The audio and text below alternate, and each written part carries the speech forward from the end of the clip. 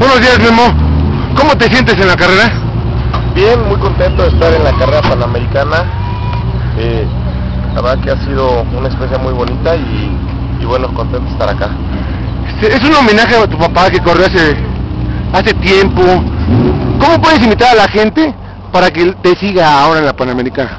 Pues que vayan a todas las plazas, pues, recorremos toda la República, estamos muy, eh, muy entusiasmados de visitar todas las plazas y, y toda la gente que nos sigue, que nos apoya, pues es más que bienvenido a, a venir a cualquiera de estas plazas. ¿Cómo es el recibimiento?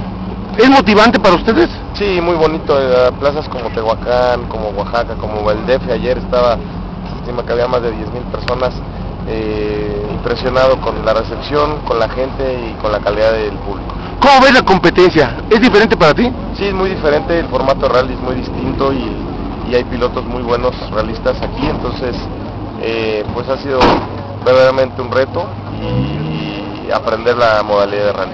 ¿Qué carro estás corriendo y qué te patrocina? Es un Studebaker 1953, eh, patrocinado por Telmex, Office Depot, Red Bull e Interprotección. ¿Puedes mandar un mensaje a nuestro público de Oaxaca específico?